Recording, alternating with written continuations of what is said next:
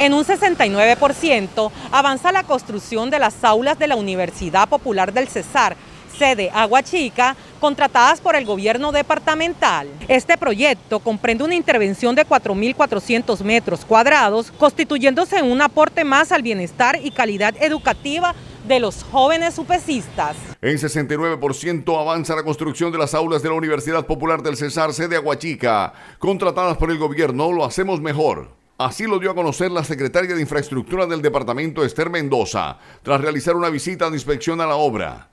El proyecto comprende una intervención de 4.400 metros cuadrados, constituyéndose en un aporte más al bienestar y calidad educativa de los jóvenes universitarios del Cesar. En estos momentos, la obra se encuentra en etapa de instalaciones de sistemas de voz y datos, redes eléctricas, red contra incendios, pintura de estructura metálica, entre otras, señaló la funcionaria.